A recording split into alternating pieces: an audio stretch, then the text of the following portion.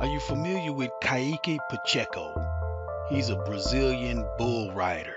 You need to know about him, right? He is ranked fourth in the world, He's 25 years old. The guy can ride bulls. What does that have to do with Excel tutorials? That's got everything to do with what we got to deal with tonight.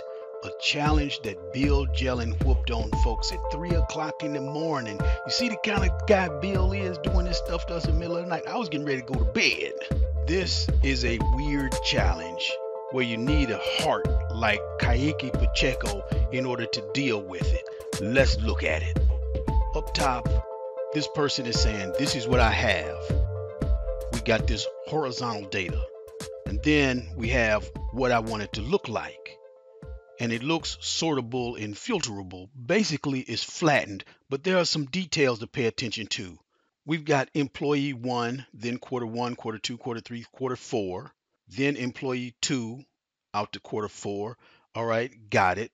But one thing about the employee columns is these add up to the quarters. So this 56 here, highlight the four quarters, those add up to 56.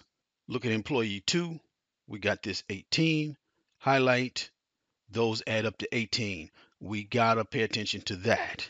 One other thing that's interesting is Bill put the original data into a named range. It's not in a table. I'm gonna leave that like it is and show you some stuff that this does. How did I approach this? First of all, I like to be able to see and not deal with a whole bunch of codes and, and vague stuff. So I'm going to give these employees names.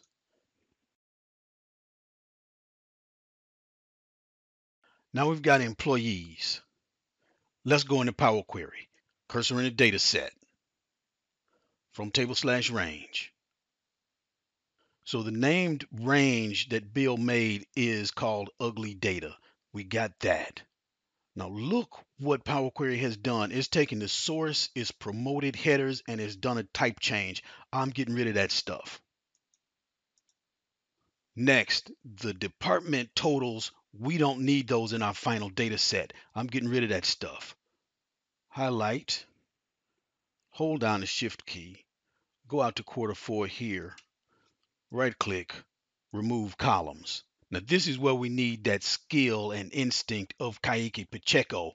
I am going to transpose this. See, there's this thing said, ride the buck, not the bull. If I ride the bull, I'm going to try to deal with the data this way and wind up in a fix. So I'm going to transpose it, and that's riding the buck. All right, I'm going to go to transform, transpose. See, I can see things better this way.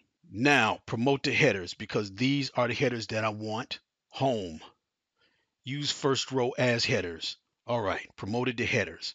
The next thing is I need, say, Grace Q1, Q2, Q3, Q4, Linda 1 through 4, etc. So I gotta get the names out. Here we go. I'm gonna add a conditional column. I'm gonna be really meticulous here. I'm gonna say add clause, add clause. All right. So if if the category description equals Q1, then null. Category description equals Q2, then null.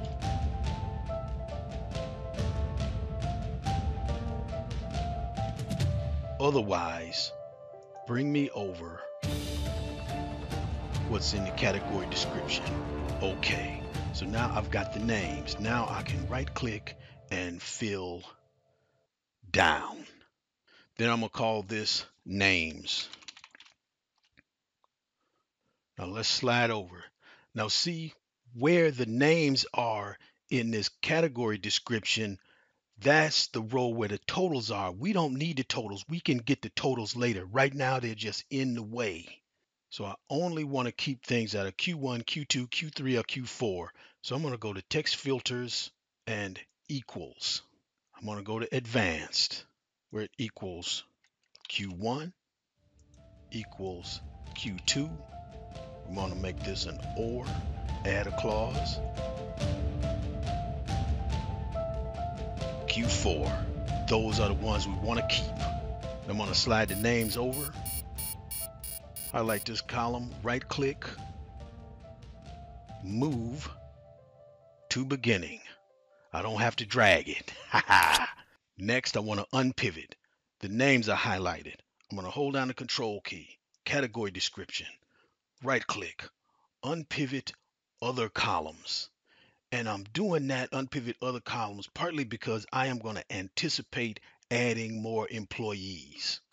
So now I'm going to pivot another way because we want the quarters up top. Highlight this column, pivot column. We want values as our values. Okay, this is what we wanted except we do need totals. Q1 highlighted. Hold down the shift key. Q4, add column. This add this column.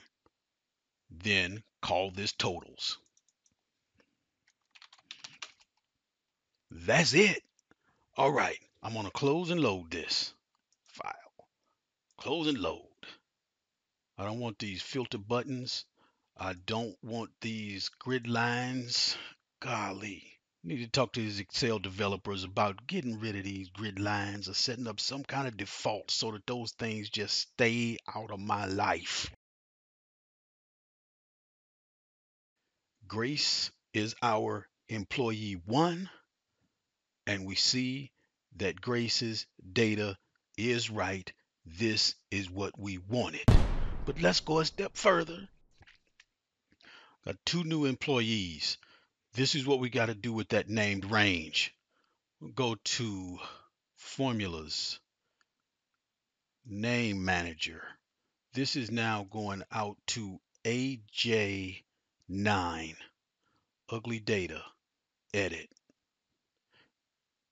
Change this to AJ9.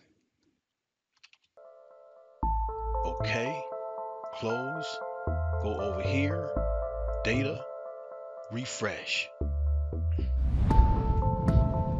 Now we got the new employees, Wayne and Jenny. We did it. With inspiration from Kaique Pacheco, we can handle anything that this data world throws at us, including a 14